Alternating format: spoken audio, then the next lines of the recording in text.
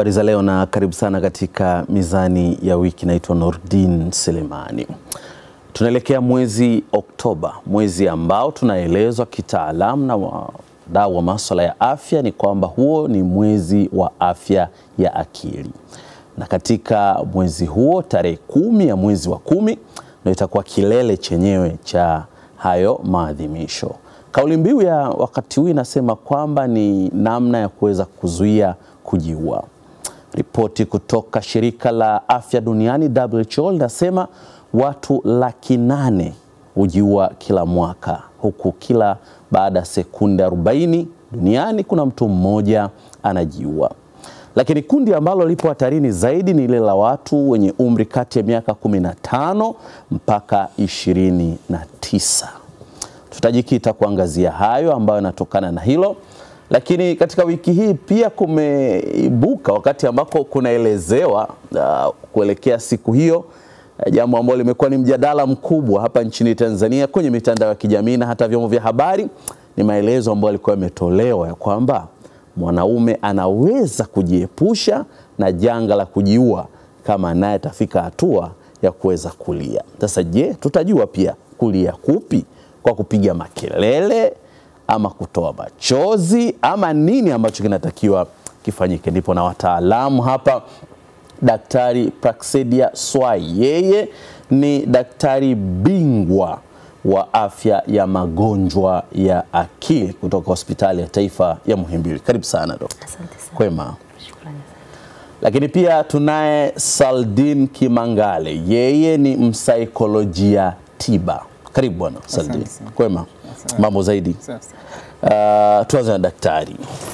Tunapozungumzia afya ya akili tuna maana gani? Uh, tunapozungumzia afya ya akili hasa tunamaanisha uh, um, ile hali au uwezo wa mtu ambao anakuwa nao wa kuweza kujitambua, wa kuweza kufahamu uwezo alionao yeye katika, katika kufanya mambo uh, uwezo alionao katika kufanya maamuzi na pia ule uwezo alionao katika kuwa ku, ku, kuz- kuzalisha kuwa productive, kuweza kufanya jambo ambalo lina mchango katika jamii yake inayomzunguka. Na pia katika swala zima la afya ya akili ni, ni, ni uh, uh, linajumuisha lina- lina- mambo, mambo mengi uh, uh, tunajua kwamba tunaongelea afya tunaongelea zaidi ya afya ya akili, japo hizi, hizi nyingine pia zina, zina mchango katika afya ya akili. Tu, uh, shirika la afya duniani pia lime, limeelezea afya ni nini. Mm. eh, kwamba afya ni ile hali ya utimilifu katika maeneo makubwa matatu. Kwanza hali ya kimwili, pili hali ya afya ya kiakili. Na tatu hali ya kijamii inayokuzunguka.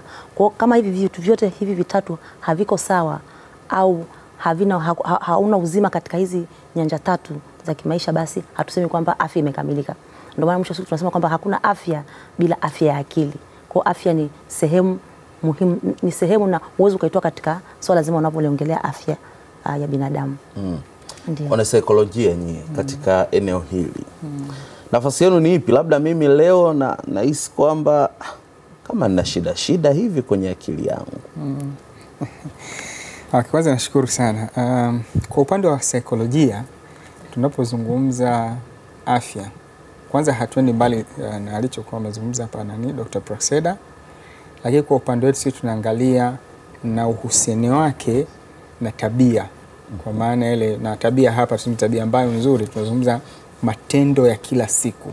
Yaani swali letu la msingi kwetu huwa tunajiuliza kwa nini huyu mtu anafanya hivi anavyofanya. Umeona, yani kwa mfano kama uh, analia, kwa nini analia? Ndio swali tunaojiuliza. Kwa hiyo hapa tunatafuta mambo matatu au manne mbele. Kwanza tunatakiwa tufafanue, yani tupate uelewa juu ya hiki ambacho anakifanya, kwa nini anafanya hivyo unafanya. Umeona, lakini pili tunatakiwa kuchambua kile ambacho anakifanya, lakini baada ya hao pia tuweze kubashiri kwamba kitu gani kinaweza kutokea kwa hiki ambacho anakifanya na mwisho tuweze kudhibiti. Kwa hiyo kama nikimwona mtu anafanya tukio namna fulani, ninaweza kulitambua lile jambo, nikalifanyia uchambuzi, kisha nikajua kwamba kitu fulani kinaweza kutokea, sasa hapo naweza kuchukua hatua. Nikitolea mfano huo wa kulia kwamba nimemkuta mtu analia, kwa hiyo kama nikianza kumsaili kujua kwamba kwa nini analia, ninaweza kuzuia kitu kinazo kinachokuja kuweza kutokea huko mbeleni, kwamba kama analia tu kawaida akapigwa, kwa unajua kwamba okay, kapigwa ndio maana analia, kwa unajua ah, hawezi pengine atakwenda zake kulala, kwa hiyo it's. Lakini kama itakuwa ni kitu kingine chochote ambacho kinaweza kuwa ni hatarishi, ndio unaweza kuchukua tu kwamba hebu mchukueni bwana, mwekeni mahali fulani, mpeni nafasi aweze kupumzika. Hivi ndivyo tunavyofanua uh, utendakaji, utendakaji kazi wa akili ya mtu na uhusiano wake na tabia zake au matendo ambayo anayafanya kila siku, na matendo yanaweza kawa ni ya wazi au matendo ambayo sio ya wazi. Mm. Dokta, uh, tumeangalia tumeangalia kwanza afya ya akili, lakini tuende sasa kwenye magonjwa yenyewe ya, ya akili. mm. Inakuwaje? Unasema kwamba sasa huyu bwana ana shida, ashapata ugonjwa katika akili yake. Asante. Labda kabla sijafika kwenye kuelezea ugonjwa, make sisi tuna vipengele vikubwa viwili katika tunavyosema uh, I mean, ni afya na magonjwa ya akili, sio afya ya ugonjwa wa akili mm. afya Na. na, magonjwa ya akili Okay. Ehe.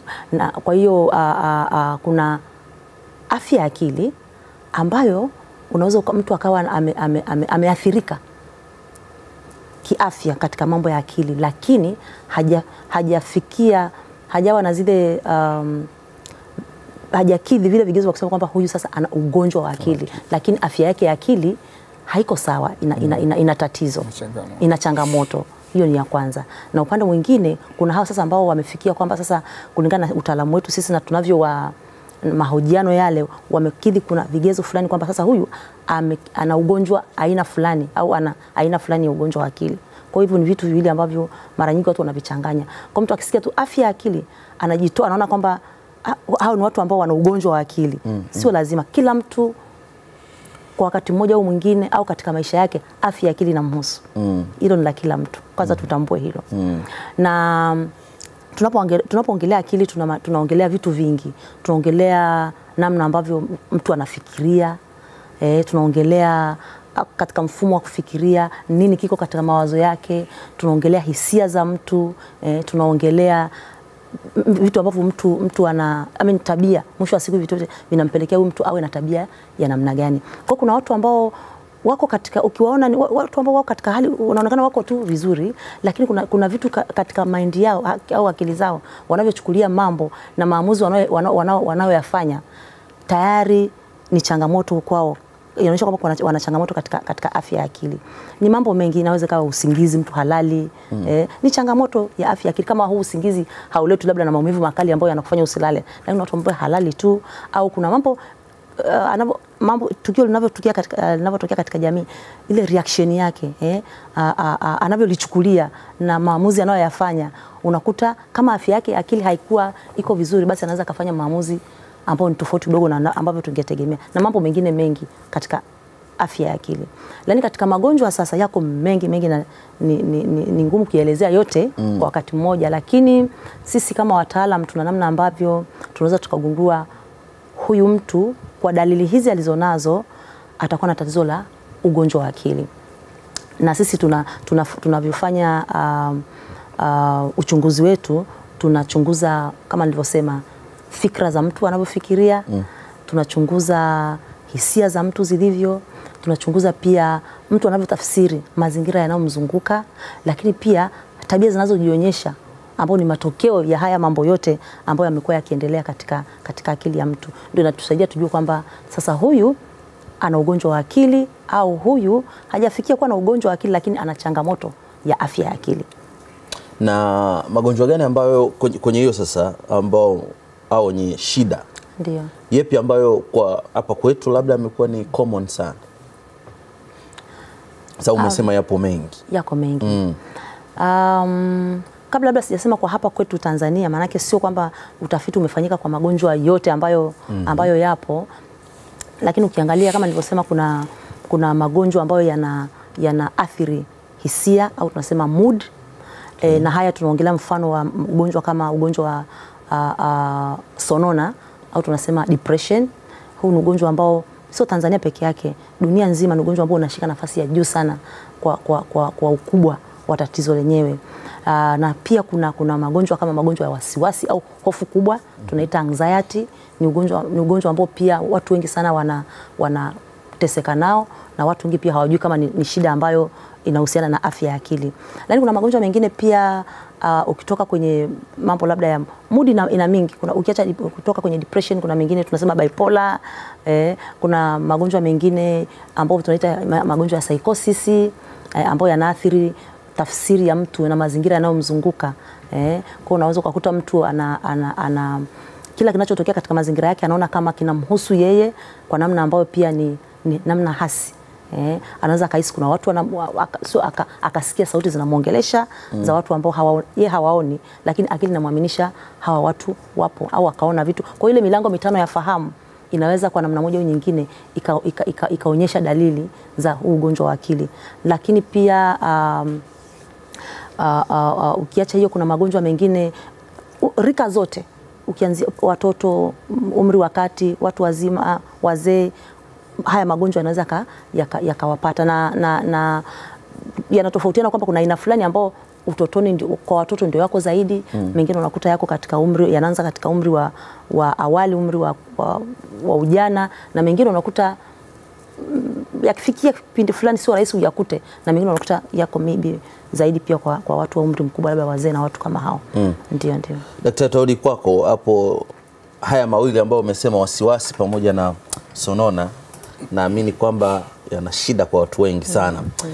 Uh, Saldin, uh, kwenu sasa mm. mathalan, mimi nimekuja uh, na tumeambiwa kwamba kuna afya ya akili na magonjwa ambayo yanatokana na akili mathalan nime, mimi ndo nimefika nakutana na wewe unawezaje kubaini kwamba Nurdini sasa huenda akawa anaelekea huku?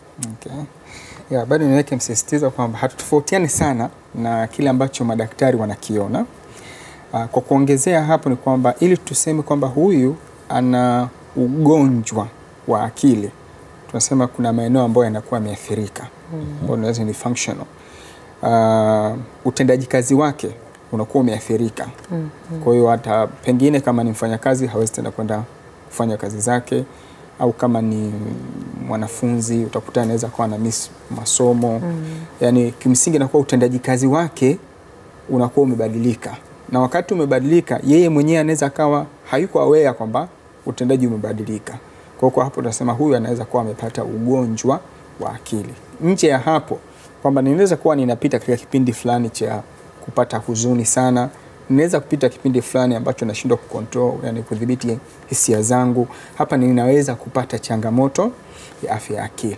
Kwa hiyo anapokuja kwangu uh, wasaikolojia na madaktari, tofauti yetu ipo kwenye namna tunavyomzingatia huyu mgonjwa kwamba mgonjwa wa akili tofauti na wagonjwa wengine, yeye anaweza akawa hana infection, hana sijui pima kila aina ya magonjwa ambayo tunajua huyu anaumwa, yote akawa ha, hayupo nayo, lakini kwa sababu kuna swala la ku, ile nani utendaji kazi wake umeathirika, kwa hiyo uh, wasaikolojia tunasaidia katika kumsaidia huyu mtu kurejesha utendaji kazi wake. Kwa hiyo ndo- ndo tunafanya kitu ambacho tunakia ni talk therapy, kwa maana mm -hmm. ni tiba kwa njia ya mazungumzo kwa maana tuna, yani tuna, tuna, tunachofanya ni kumsaidia huyu mtu aweze kutambua tatizo lilokuwa nalo, lakini pia kumpa changamoto, kwa maana kuchallenge kile alichokuwa nacho, kumwonyesha sura nyingine ya lile ambalo yuko nalo. Lakini wakati huo huwa inaweza ikafika pahali ambapo ili uweze kufanya hivyo akahitaji dawa, kwa daktari ndio atakayetoa dawa, wakati huo ukiwa unaendelea naye kwenye management ya talk therapy, kwa maana tiba kwa njia ya mazungumzo. Kwa kwa sehemu kubwa sisi tunawasaidia katika kule ku, ku, yani kurejesha ule utendaji kazi wao kwa kumwonyesha kwamba hiki upo hivi, lakini kumsaidia kwenye utafsiri mwana kwa, kum, kwa kumpa changamoto maswali na vitu vya namna hiyo, ili mtu aweze kujichallenge na kuona kwamba okay, kumbe haikuwa hivi, iko hivi, kumbe halikuwa lile, lilikuwa liko hivi. Hiki ndicho ambacho kwa upande wa saikolojia tunafanya, lakini mbali ya hivyo hatushughuliki tu na mtu ambaye ana tatizo la ugonjwa wa akili mm. kama lilivyo, lakini hata mambo mengine yote ya kijamii ambayo kwa namna moja au nyingine yanamfanya mtu asipige hatua. Umeona, kwa sababu kwa sisi kwa namna ambavyo tumekuwa trained, kuna ambavyo tume- tumefunzwa, kuna viashiria ambavyo tunaviona. Yani mimi nikizungumza, yani kama ukiwa na tatizo, kizungumza kana tatizo ambalo unakuja kazini vizuri, wala kuna tatizo lolote ambalo ni linaonekana, lakini tunapokuwa tunazungumza, mimi kwa sababu nime- nime- nimesomeshwa ninaweza kutambua viashiria kwamba hiki hapa kinaweza kuwa kimemhold back, hili kwa hili limemshikilia, kwa hili linamrudisha nyuma, kwa hili linaweza kwa kwa katika mazungumzo haya, mimi wajibu wangu au kazi yangu ni kutambua haya ambayo yanaku, yanaku, yanakushika wewe usipige hatua. Baada ya hapo ninaanza ku, kujadili pamoja na wewe moja baada ya jingine mpaka pale ambapo wewe utaona kwamba ah, kumbe hiki hapa ilikuwa mimi naona sio issue, kumbe ni issue. Kwa hiyo baada ya hapo tunatafuta alternative pamoja namna ya kutoka, alafu ukianza kufanyia kazi zile njia mbadala, unaweza kuona kwamba sasa mambo yako yanafunguka yana, yana. Inaweza kuwa ni jambo la kifamilia, inaweza ikawa kwa mwanafunzi shuleni, kuna vitu ah, bana, mimi siwezi kusoma, kila kingine darasani nalala tu. Umeona? Sasa tukikaa pamoja ukianza kusaili utaona okay, kuna hiki kuna hiki kuna hiki, mkijadili pamoja, basi mtu anapata njia ya kutokea. Mm. Na hayo mnaweza mka mkayabaini ama mkayapatia suluhisho baada ya muda gani? Uh, kwanza inategemea na ukubwa wa tatizo kwamba kwa kiwango gani huyu mtu ili jambo limemkamata, mm. lakini kwa kiwango gani pia limeshamwathiri. Unajua kuna wakati ambako unaweza kuamini kabisa, kwa mfano uh, mi bwana, maisha yangu hayaendi, jirani zangu wananiroga. Sasa kwa kiwango gani hiyo imani umeshikamana nayo, mm. kiwango ambacho mtu akiangalia anaweza kuona kwamba ah, sio kwamba umerogwa, ila kuna hiki. Siwezi kuambia kwamba hujarogwa kwa sababu mi sijui mm. lakini kuna vitu ambavyo ni- tukijaribu kwenye kwenye mjadala wetu kuona kwamba okay, kuna hiki hapa, kuna hiki, kuna hiki hapa, mimi ninachofanya ni kujaribu kuhamisha ule, ule nani ule ule uelewa wako wewe Mm. kwamba hata kama utapiga ah, ya hayo unajua mambo ya kijamii yapo, sikwambii kama umekuroga. Hayo mambo ya kijamii yapo, lakini kuna hili hapa. Hebu tuangalie kwenye hili hapa ambalo mimi ni- nimeona kwamba hili pengine ndio lina lina ku hold back. Kwa hiyo kwenye hilo tukishikamana pamoja, tukajaribu kulijadili kwa pamoja, ukianza kulifanyia kazi, unaweza kuona ah, kumbe hili kuwa linachangia. Mm. Kwa hiyo inategemea na ukubwa wa tatizo na namna lilivyo. Inaweza ikachukua, mara nyingi huwa tuna- pengine kwa wiki mara moja au baada ya wiki mbili mara moja au wakati mwingine hata baada ya mwezi mara moja kutegemeana na, na ukubwa wa tatizo. Lakini kwa mtu kwa mfano ambaye amepata uh, kama hiyo sonona kwa muda mrefu, yani kiwango cha chini, maanake tutakaa session kumi na mbili ndio kiwango cha chini. mm. Mm. Daktari, uh, tuangalie sasa sonona na wasiwasi. Haya ni mambo ambayo wakati mwingine tu hata mtu unaweza ukamwona hivyo ukaona kabisa huyu ana shida ya, ya wasiwasi na hata sonona. hmm.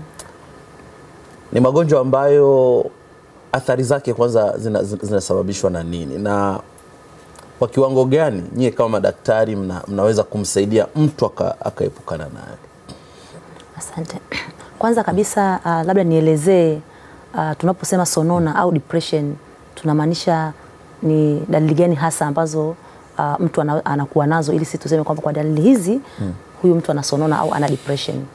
Kama nilivyosema awali uh, dip- sonona ni, ni, ni, ni ugonjwa ambao una, uh, unaathiri unatokana na kuathirika kwa hisia za mtu uh, uh, mudi tunaita na dalili kubwa uh, katika hili tatizo la sonona au depression ni ile hali ya mtu kuwa na kujisikia hana furaha, kutawaliwa na huzuni kwa kipindi cha muda mrefu. Tunasema yani, angalau kila siku mtu anakuwa na hiyo hali, na hiki kipindi kinaenda, kinaenda wiki mbili au zaidi ya hapo, ikiambatana labda na dalili nyingine kama nitakavyozitaja, kwa mfano kukosa hamu na vitu ambavyo au kushindwa kufurahia vitu ambavyo awali alikuwa anavifurahia. Mm -hmm. Kwa mfano, mtu ulikuwa unapenda ukifika nyumbani unaangalia TV, kuna kipindi fulani unakipenda, ukifika tena ah, yani ile hamu hamna. Vitu vingi katika maisha yako ambavyo ulikuwa unavipenda unakuta ile hamu uh, unakuwa hauna tena, lakini inaambatana na dalili nyingine. Sasa kwa mfano, mtu anaweza akawa anakosa usingizi mm -hmm. au mwingine analala kupita kiasi au mwingine anakosa hamu ya kula au mwingine anaweza akajikuta anakula kupita kiasi. Uh, hali ya ku, jikuta una, una, unapendelea kukaa, mtu anapenda kukaa peke yake peke yake, hachanganyiki tena na, na, na watu au tunasema kama social iso, anajiisolate. Haji, mtu ana, ana, hajipendi tena kama alivyokuwa anajipenda awali, anaanza kuwa na, ma, na mawazo ya, ya mawazo hasi tunasema. Mm. negative thoughts, anakuwa na mawazo hasi, mawazo ambayo ni mawazo ambayo majibu yake pia ni hasi, na haya mawazo yanamfanya azidi kuwa kuwa na hali ya, ya, ya, ya, ya sonona au hali ya kujisikia kujisikia huzuni. Lakini pia dalili nyingine ni kwamba mtu anaweza akawa anashindwa kufanya maamuzi anashindwa kuconcentrate au kutuliza mawazo sehemu moja na kufanya jambo, na mwisho wa usiku, mwisho wa siku mtu kama anaweza akajikuta analalamika, na sahau au watu wanaona mbona kitu, mbona siku hizi vitu vingi unasahau unaona eh? Lakini pia inakuja na dalili za, dalili za kimwili, japo chanzo chake sio mwili, lakini unaweza ukakuta mtu sawa, kuna haya yote anayoyapitia ambayo yeye ndo anayasikia ndani mwake, lakini kuna vitu mtaviona kwa nje. Kwa mfano, anaweza kalalamika sana na umu- maumivu ya hapa na pale, lakini akipimwa mwili wake kuna Upo upo, mwili upo sawa, lakini haimaanishi kwamba yupo sawa. Kweli tatizo analisikia, anasikia kichwa kinamuuma sana, anasikia mgongo unamuuma au kiuno kinamuuma eh, na mwingine anafika mahali anaanza kuwa na mawazo uh, ya kukata tamaa Wengi- inapo hali inapozidi kwenda sasa na haijapata suluhisho, anaanza kupata mawazo ya kukata tamaa, anaona kama tena hamna msaada mm, uh, uh, a, anakosa matumaini, na mwisho wa siku mtu kama huyu anaweza kafika mahali mwingine hata akapata sasa hali ya kuchanganyikiwa. Mm. mm ikamjia hali ya kuchanganyikiwa ya, ya, ya, ya, ya kuchanganyikiwa ya ghafla, lakini unaweza kwa haraka haraka kama sio mtaalamu ukaona ile hali ya kuchanganyikiwa kama ndio tatizo, kumbe mtu ameshaanza na hali ya sonona kwa kipindi kirefu ambacho hatukujua, na mwisho wa siku ikafikia pale. Lakini kibaya zaidi watu wengine, na hata tukija kuongelea mambo ya kujiua, huwa kwenye tatizo la sonona asilimia karibia kumi unakuta kwamba wanafika mahali pale wanapokuwa hawajapata msaada, basi wanaweza wakafikia mahali waka, wakaamua kujitoa uhai wao au kukatisha uhai wao.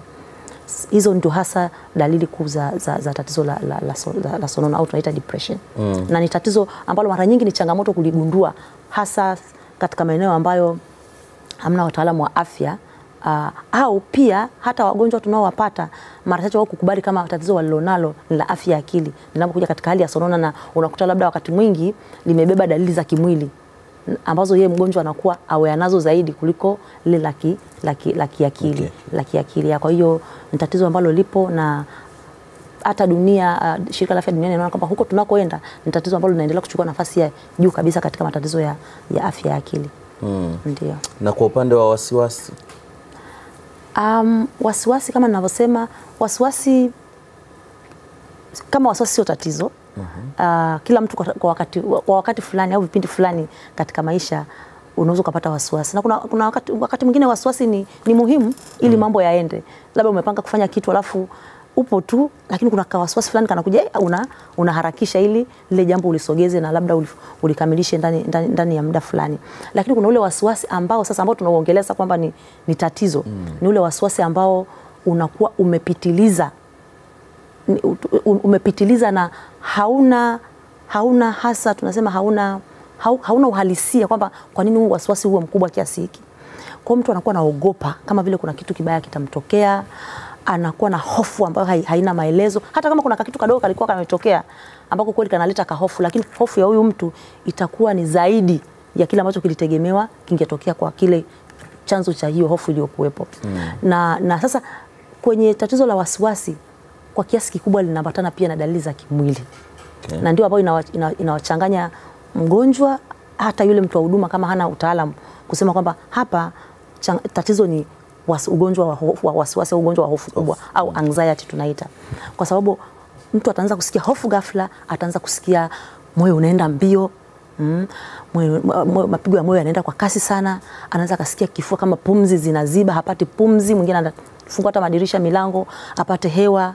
Mwingine ataanza kusikia ghafla I mean, dalili nyingine zikaja ganzi, ganzi ghafla, anasikia mikono ina ganzi au miguu kama ina, anaona kama ana yani kama anapata stroke au kama ana paralyze tumbo linaweza likavurugika akahisi kwenda chooni mara kwa mara. Anaweza akasikia kichwa kama kichwa kinamuuma, lakini namna kinavyouma anasikia kama kime tight, kama muscles zina tight na maso zinaweza zika, tight za sehemu yote ya mwili. Kwa mwingine hata akakakamaa, yani unaoka vidole vinakakamaa, misuli ya mwili wote vinaweza pia vika- vikakakamaa. Kwa alafu anaanza kusikia pia hali, inaweza katokea hali ya kizunguzungu au akaona kama akaanza kuhisi kama kuna kitu kibaya sana kitanitokea, aidha nitakufa mfano au anaona kama au nitachanganyikiwa. Kuna hali tu naye anaisikia kichwani ambayo pia haielewi. Kwa hiyo cha kwanza kabisa watu kama hawa unakuta mara nyingi wana katika sehemu ambazo pia zina huduma ambazo zinapatikana wanaishia kwenye emergency department mm. a, a, vitengo vya dharura kwa ajili ya kufanya vipimo vya maana huyu mtu anausikia mwili wake kuliko akili yake, yani mwili wake hasa ndio unaomwogopesha kila anachokisikia anachokisikia. Kwa anapoenda kwa wataalamu, watamjaribu kufanya check up, kumpima kila kitu. Mwisho wa siku hatushangae hatu kwamba mo, mostly au kwa kiwango kikubwa mwili unaweza ukaonekana hauna tatizo, vipimo vinaonekana viko sawa, na hii ndio inamchanganya pia zaidi huyu mtu. Inawezekana, inakuwaje mimi najisikia hii hali alafu nimepimwa, nimeambiwa kwamba si, e, sina tatizo au mwili wangu hauna shida hmm. Sisi hiyo tunaielewa kama wataalamu wa afya ya akili, kwa sababu ile ni, akili, ni, ni, ni, ni dalili za ule ugonjwa ambao unaanzia kwenye akili ya mtu, lakini pia kuna mawasiliano ambayo yanatokea yana kwa kupitia sehemu mbalimbali za mwili, lakini huo ndio tatizo kubwa ambalo nalisema kwamba ni anxiety au wasiwasi. Naam, bado tungali sote katika mizani ya wiki siku hii ya leo tukiangazia kuelekea uh, siku ya afya ya akili ambayo itakuwa mwezi wa kumi na kilele chake ni tarehe kumi. Leo hapa studio nipo na Daktari Praxeda Swai ambaye yeye ni daktari bingwa wa magonjwa ya afya ya magonjwa ya afya na magonjwa ya akili kutoka hospitali ya taifa ya Muhimbili, lakini pia ninaye Saldin Kimangale, yeye ni msaikolojia tiba. Tapumzika kidogo na kisha tukirejea hapa sasa tutaanza kuangazia uh, kuelekea hiyo siku yenyewe ya afya ya akili na magonjwa ya akili na kauli mbiu ya mwaka huu ambayo ni kuzuia kujiua, huku pia tutapitia kuangalia takwimu ambazo zimetolewa na WHO na athari ambazo vijana wengi wanaonekana kuwa katika hatari zaidi kuliko watu ambao umri wao umekwenda zaidi. Tutarejea hivi punde. Nam, ndivyo ambavyo tunarejea tena katika mizani ya wiki. Naitwa Nordin Selemani. Uh, nimekudokeza kidogo kwamba tutaendelea sasa kuangalia hiyo siku yenyewe, lakini kabla hatujaigusa uh, kwa undani, msaikolojia tiba, ulimsikia Daktari Swai namna ambavyo alikuwa akielezea sonona pamoja na uh, hofu ama wasiwasi inavyoleta madhara kwenu nyie. Sasa umebaini kwamba huyu amekuja kwangu shida yake kubwa ni hofu. Unaanzia wapi? Ya, kwanza e, ikiwa, ni, ikiwa ni hofu au ni, ni, nani, ni sonona.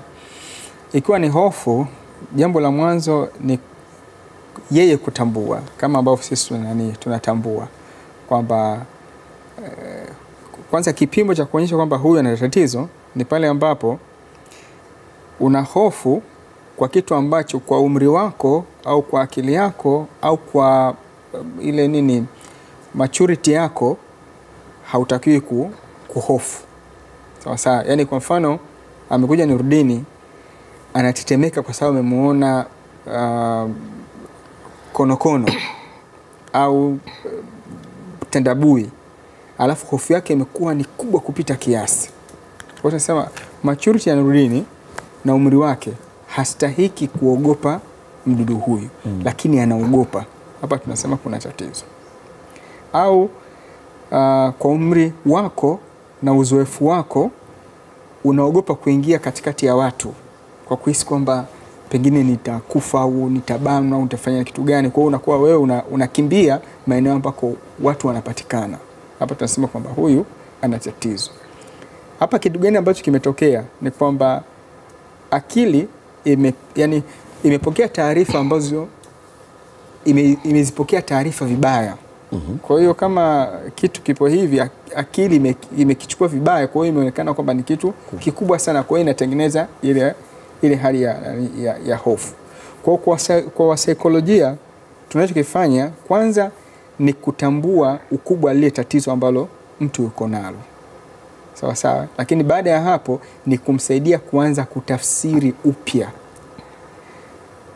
Kuna kitu kinaitwa um, cognitive distortion, kwamba utambuzi hapa umeharibika au ume, um, mtu anakuwa hapokei vizuri uh, taarifa zinazotoka kwenye mazingira. Kwa hiyo kile anachokiona mm. kinatafsiriwa tofauti, anachokisikia kinatafsiriwa tofauti anachohisi naweza kumwambia anaona kama natembelewa na wadudu mm. kwa anachohisi pia anahisi tofauti kwa hiyo tunachofanya sisi kwanza ni kutambua hiyo eneo gani ambalo limekuwa distorted eneo gani ambalo limeharibika au limepata shida mm. baada ya hapo tunafanya yani, uh, tuna, tuna, kwa- yani, tunashirikiana pamoja na yeye kurejesha hilo eneo kwa njia ya mazungumzo ambayo tunaita ni cognitive uh, restructuring kwa maana tunaanza kumsaidia kutafsiri upya au kupata maana mpya ya kile ambacho yeye anakipata kwa namna tofauti mm.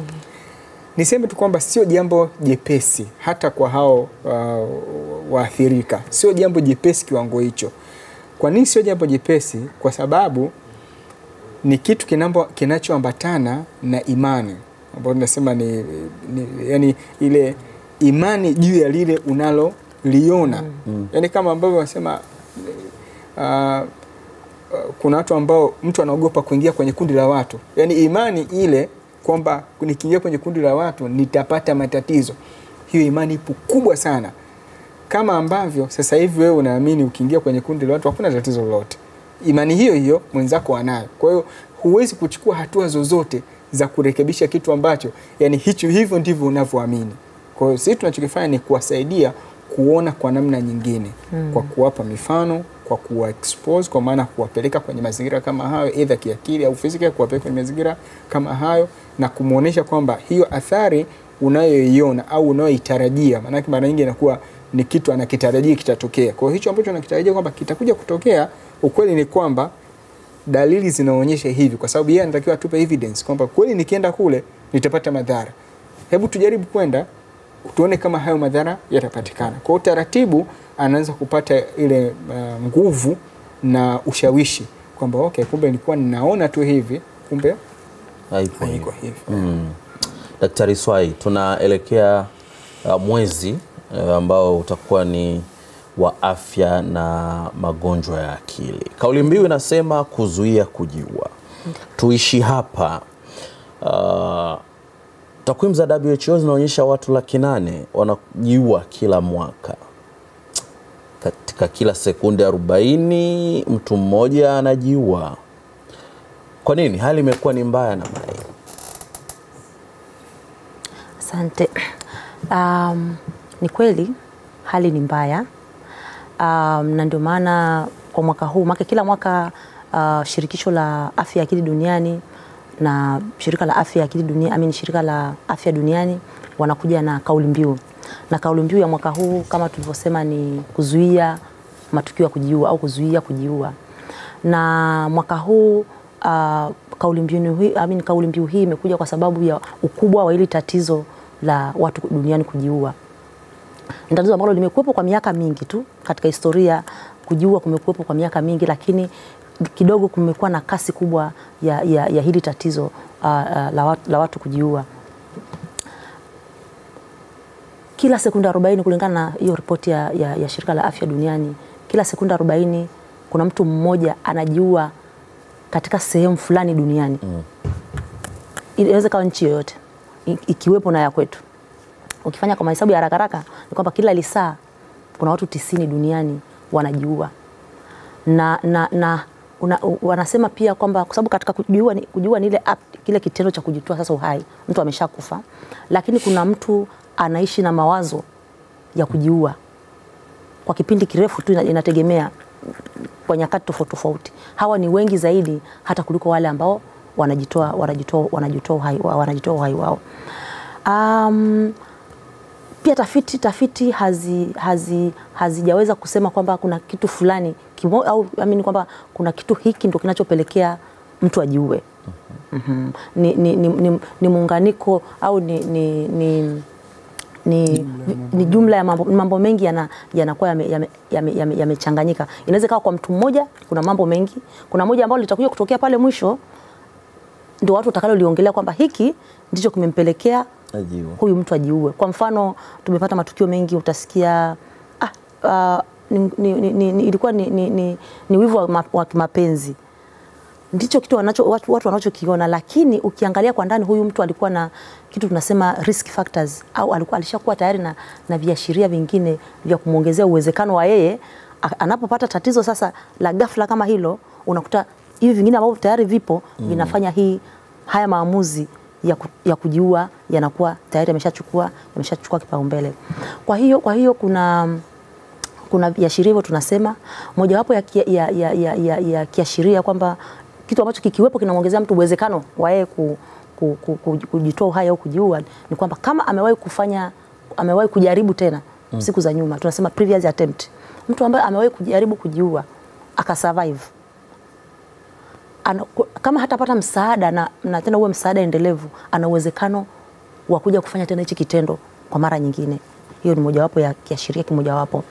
Kiashiria kingine pia ni mtu ambaye matumizi ya, matumizi ya vilevi mm. kama pombe pita kiasi, madawa, ya, kule- madawa mengine, madawa ya kulevya na vitu kama hivyo, aina zote za vilevi hivi vinaweza kam- vikampelekea mtu akafanya aka, aka, aka maamuzi ya ghafla akiwa tayari katika ile hali ya kuwa intoxicated au amelewa.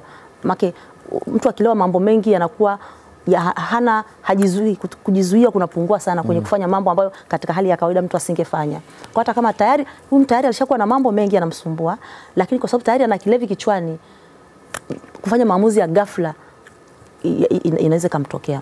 Lakini pia kiashiria kingine ni kuwepo kwa magonjwa sasa mengine ya kiakili.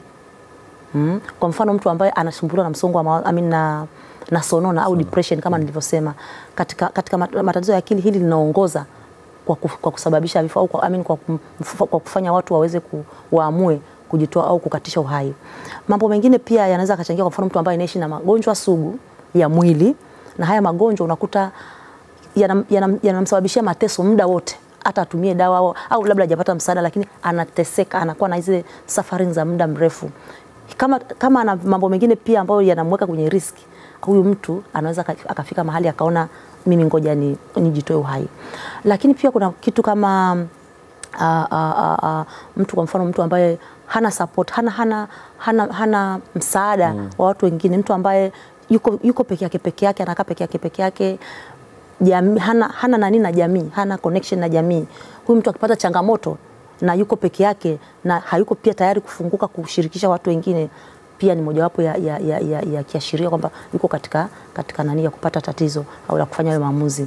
Uh, mambo mengine ni kama vile um, aina ya haiba ya mtu mm. tunasema personality, type ya personality ya mtu eh, kuna mtu ambaye namna yake alivyo tu, kikitokea changamoto kidogo, mara nyingi cha kwanza kinachomjia ajiumize eh, au akitaka kitu asipopatiwa haraka haraka ana, anaweza akasema ngoja nijiumize au au aka, aka, aka yakaja tu maamuzi ghafla, ngoja mimi nijitoe hai, ah, siwezi kuhangaika. Yani, vitu kama hivyo, haiba pia zina zinachangia katika maamuzi au katika kumfanya mtu awe katika katika hiyo risk. Lakini pia kuna ma, hata watoto wadogo siku hizi tunasikia ripoti, mtoto wa mm. darasa la fulani I mean, kidato fulani au chuo au nini wanafanya wana, wana wanafanya matukio ya kujiua pia matu, uh, uh, hali ambazo hali ambayo mtu amepitia katika maisha yake, kwa mfano kuwa abused au kunyanyasika mm. aidha ki, ki, kijinsia au kunyanyasika kimwili, ki- kupigwa au, ki, I mean, au, au, au kingono. Kuna hizi uh, uh, sexual abuse zinatokea sana, au kuna ishu kama bullying, hawa watoto wananyanyaswa wana, wana wana na wenzao eh, kuna bullying pia za kwenye cy- cyber, cyber, you know, cyber, cyber bullying kwenye mitandao.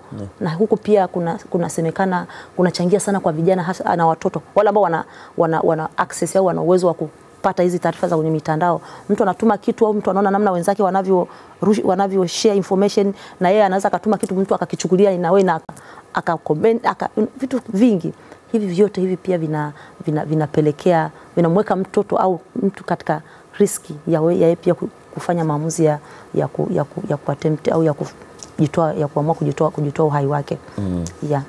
Saldin, uh, amekuja mtu ambaye tayari alishajaribu kutaka kujiua, amenusurika. Kwenu ndo mnafanyaje sasa ili asije aka- aka- akarejea tena na hatimaye hadithi ikawa nyingine? Yeah. Uh, kwanza suala la kujiua au kujitoa uhai uh, kwenye huduma za afya ya akili huwa inakuwa ni kipaumbele. Yaani ukiona dalili yoyote kwamba kwa mfano uh, mtu ameonekana kwamba hapati usingizi vizuri, ameonekana kwamba amepoteza hamu ya chakula, ameonekana kwamba anaweza kujitenga peke yake, lakini kuna vitu vya ziada. Kwa mfano ameanza kugawa vitu vyake mm -hmm. au ame, analipa madeni au vitu ambavyo alikuwa akivipenda uh, anaanza kuvigawa tu. Hivi ni viashiria kwamba huyu mtu kuna kitu anataka kukifanya. Kwa hiyo katika hali ya namna hii haendi kwa msaikolojia kwanza, lazima awe chini ya uangalizi wa daktari, kwa sababu hapa alipofikia sio mahali ambapo mnaweza mkazungumza. Anakuwa driven na kitu kingine kabisa. Kwa hiyo in the first place ataenda kwanza Kwa daktari. kwa daktari na si sio kwa daktari, kwa maana atakuja kwa Dr. Praxeda hapa, kwa unajua mimi najisikia hivi na hivi, ni anatakiwa awe chini ya uangalizi, kwa maana amelazwa hospitali ili aweze kupata matibabu katika hilo. Sasa akishatoka huko amerecover, ameshakuwa yuko vizuri mm. hapa sasa ndio unaweza kwa sababu swala la kujiua huwa linaambatana na mtu yani kukosa njia mbadala ya kukabiliana na changamoto katika maisha yake. Sasa sisi tunachofanya ni, kum, ni kumwelekeza kwenye hili tukio ambalo alikuwa anataka kulifanya na pamoja kujadili njia mbadala za kukabiliana na tatizo lilokuwa nalo. Kwa mfano daktari hapa amezungumza, kwa form tupo kwenye nani, kwenye maumivu makali sana ya maradhi aliyokuwa nayo, lakini wakati ukiwa katika maradhi ya namna hiyo, kesho yako hujui ita, itakuwa kwa namna gani, hujui kitu gani ambacho kita- kitatokea.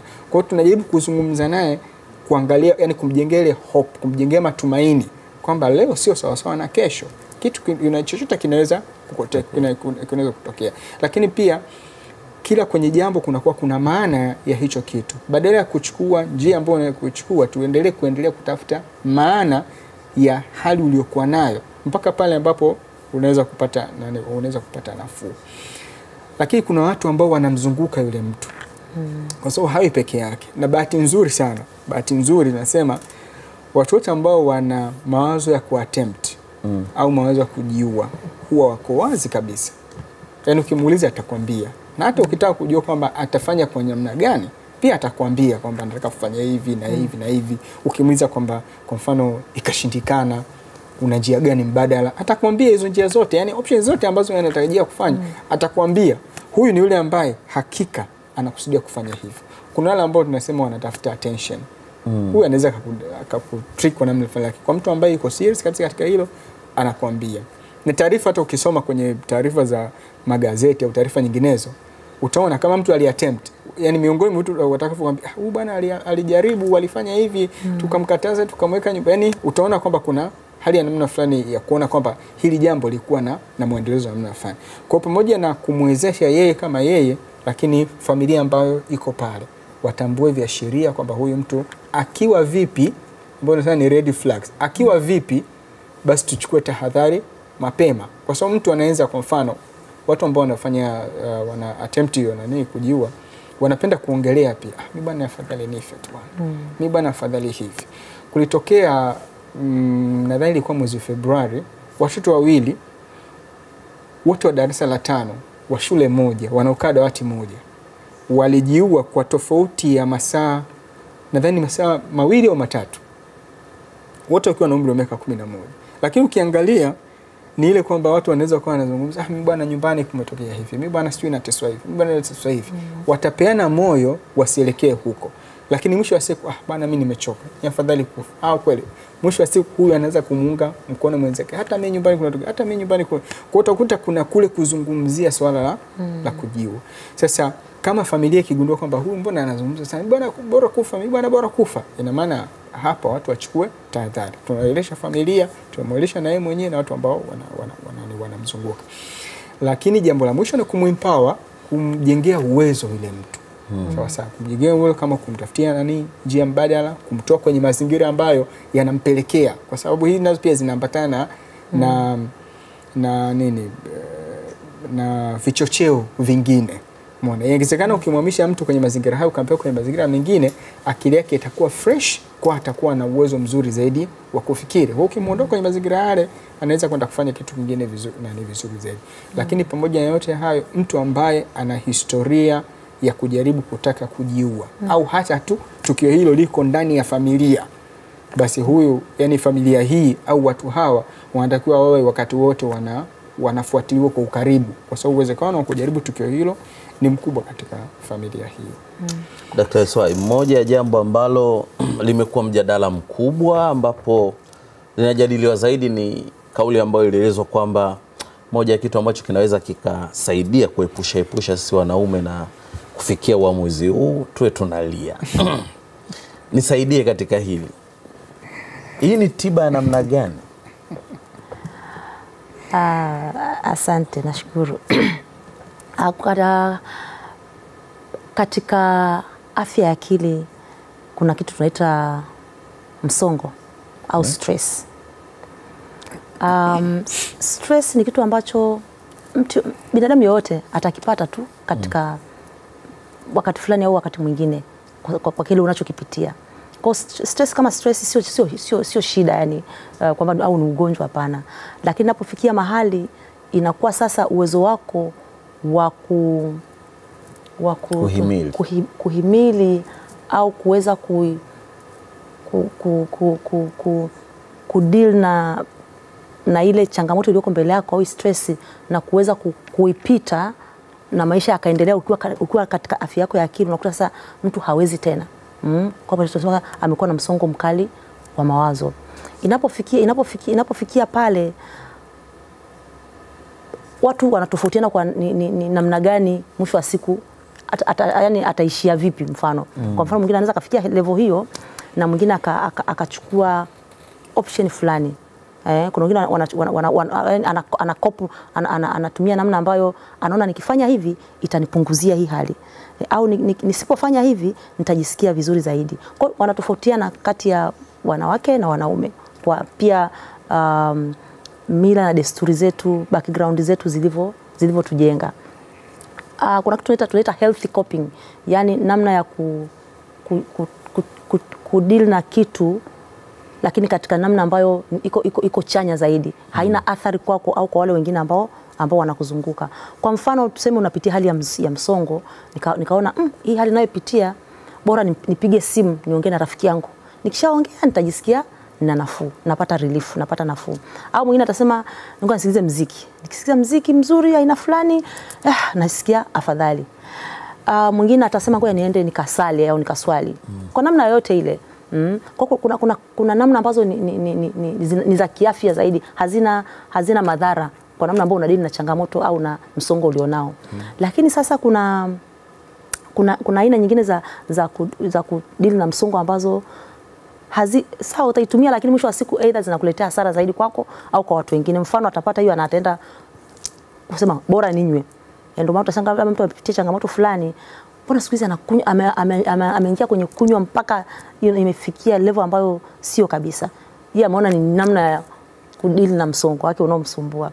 Au mwingine labda anaona wanaona bora ni, ni, niamue ku mwingine anaweza akaamua tu ana, ana, anafanya tu matukio ambayo sio ya kawaida na, na, na sio hayana faida kwake, japo anaona kwamba hili kwangu ndo naona linanipa relief. Au mwingine akaamua kuingia katika ufanyaji wa ngono holela, mradi tu anaona kwake ni namna ambayo itampunguzia ule msongo. Lakini tunasema kulia ni mojawapo ya, ya, ya, ya njia ambayo jinsi ya, ku, ya kutoa au ya kupunguza msongo na kumfanya mtu apate relief. Kama una, kama kama hiyo hali inakujia, huwezi ukaita ukavuta uka- uka hisia za kulia ukazivuta kama kama hazipo.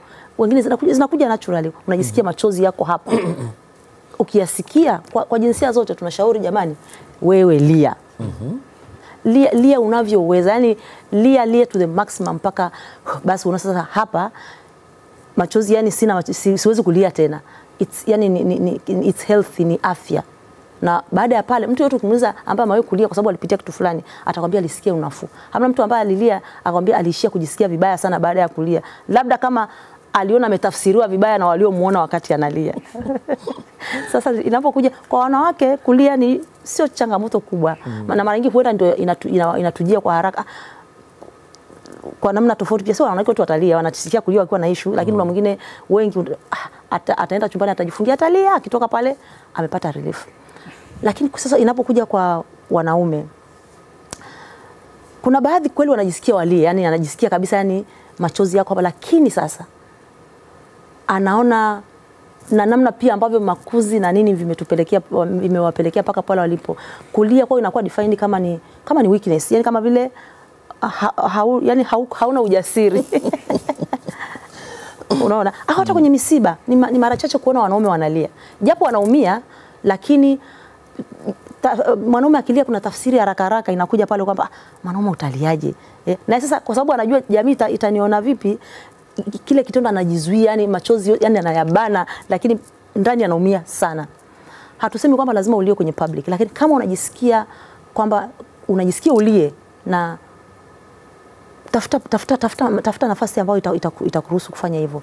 Tafuta sehemu ambayo ni private, nenda chumbani, funga mlango, lia zako, lia lia lia. Mtoto wako atakuona, mke wako atakuona, ukimaliza unawa uso, unafuta uso, umejisikia relief mm. Lakini naomba nirudie tena, hatujasema kwamba kila mwanaume lazima alie mm. Lakini kama inakujia hivyo kwamba unaona unajisikia ulie, fanya hivyo, kwa sababu ukizuia unajiumiza zaidi. mm-hmm. Yes. Uh, Saldin Kimangale, wakati wangu nakimbia kweli kweli. Hebu niambie mara ngapi wa, wanaume wamekuja kwako kwa kaambia hebu kwanza lia kwanza hapo afu ndio muendelee na mambo mengine.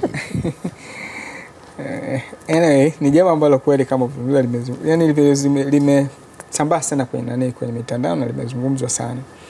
Mimi nianze kusema kwamba kwenye kulia, yani ukiangalia life span ya watu namna tunavyokuwa kutoka utoto ndio njia pekee tunaweza kuwasiliana na wazazi mm. Watoto wadogo namna ya kuwasiliana na wazazi ni kwa njia ya kulia. Kweli. Kwa hiyo ana njaa atalia, amejisaidia atalia, anaumia atalia, mm. yani ndio njia pekee ambayo wanatumia kuwasiliana. Kadri anavyokuwa na hakuna tofauti baina ya mtoto wa kiume na mtoto wa kike mm. katika hilo.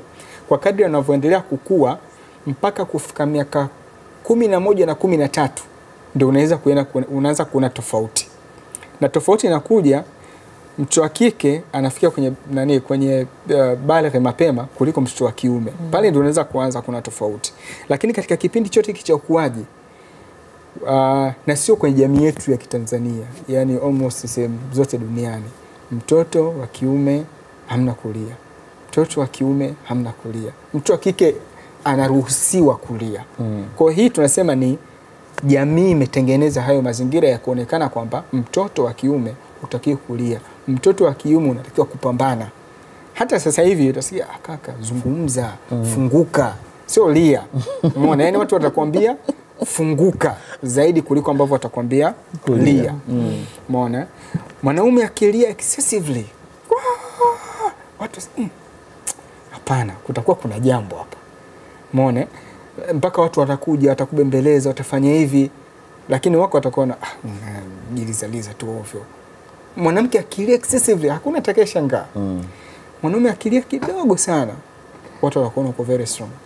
Brother, tulia, yatafikisha tu haya, kwa sababu anajua kwamba kweli amekufika, na hii ndio namna pekee ambayo unaweza mm. uka, uka, nani uka, uka, uka, ukapata hiyo nani relief. Sasa uh, kulia sione kama ni jambo la kustaajabia kama ambavyo sasa hivi imeonekana hivyo, yani ba, ba, ile kusema kwamba wanaume wanatakiwa walie, hata kama tusingesema wanaume wanatakiwa walie, yani mm. ni kitu kipo, umeona, ni kitu kipo kwa sababu ndio natural response ya furaha ya huzuni. Kwani watu wakiwa na furaha pia si wanaweza kulia? mm. Yani ni natural response. mm. Problem inakuja kwamba huna kama alivyosema daktari, huna healthy approach ya kukabiliana na hisia zako. Matokeo yake ni kwamba kulia hulii, alafu unarudi nyumbani, hasira zako unamalizia kwa watoto wako, mm. hasira unamalizia kwa mke wako, hasira unakwenda baa, unakuja kazini unafanya vurugu tu kwa sababu kuna jambo limekutokea na wewe ulikuwa kulia, hukulia, matokeo kume ume umelishikamana namna hii. Lakini kwa sababu ni kitu ambacho kinafanyika ndani ya mwili wa mtu, madhara hayakosekaniki. Mm. Yaani mimi nikiwa najizuia kulia haimaanishi tu kwamba nimezuia machozi yasitoke. Hayakutoka machozi kama maji, lakini je, mwili wangu umebaki salama? Je, kemikali nyingine za mwili wangu zimebaki salama? Kuna kitu ambacho kimepelekwa kwenye brain yangu, kuna kitu ambacho kime, in, inafika mahali hata tu ile strength ya kawaida mm-hmm. Yaani kwa mfano, mmoja ya vitu ambavyo vinatokea vina- kwa haraka sana, uvumilivu wako una, yani ile threshold ya uvumilivu inakuwa inashuka. Kwa hiyo mtu akikukanyaga tu kidogo unaripuka haraka sana mm. tu kwa sababu hukuweza kupata kuji, nani kujiachia. Kwa hiyo tunasema kulia, tunasema ni soothing effect inamfanya mtu anajifariji na mm. anapata ile calmness, kutulia. Kwa hiyo mtu akishatulizana ana uwezo wa kufikiri sawasawa, ana uwezo wa kupanga sawasawa, anaweza kuchukua maamuzi kwa namna iliyo sawasawa. Hasa kwenye, kwenye, kwenye, kwenye tunapokuwa tunaonana na uh, wagonjwa wetu au wateja wetu, unapokuwa unajadili zile ishu zao, mtu akipata tafsiri ambayo alikuwa hajaipata mwanzoni, ndio pale kunaweza kuto, kunaweza kutokea hali ya kulia. Hapo tunawaruhusu Wali. walie, kishatulizana tunaendelea. Naam, tumekuwa sote katika mizani ya wiki hii leo tukiangazia uh, kuelekea siku ya afya na magonjwa ya akili ambayo itakuwa ni mwezi wa kumi tarehe kumi, lakini pia tuliangalia mjadala ambayo iliyotoka nayo baada ya kutolewa taarifa hiyo ya uelewa kuelekea siku hiyo, ambako pia takwimu za WHO zinaonyesha kwamba watu laki nane wanajiua kila mwaka, kila sekunde 48 mtu mmoja anajiua. Lakini miongoni mwa waliosemwa ni haya ambayo tumemalizia kwamba ndugu yangu, naambiwa yakikufika na ukapata hisia za kulia, haijalishi we ni mwanaume au mwanamke, jiachie, lia we, tena machozi yatoke, vinginevyo inaweza ukawa mkasa. Nimekuwa naye Dr. Praxeda Swai, uh, daktari bingwa magonjwa ya afya na magonjwa ya akili kutoka hospitali ya taifa Muhimbili. Imekuwa ni fahari kuwa nawe Asante sana. lakini pia nimekuwa naye Saldin Kimangare, msaikolojia tiba. Nimefurahi sana kuwa nawe hii leo katika mizani ya wiki. Inaitwa Nurdin Selemani, kwa niaba ya mwandaaji wa kipindi hiki Jamal Hashim. Ndio nafikia tamati juma hii, tukutane tena juma lijalo katika kipindi kingine cha mizani ya wiki. Kwa heri.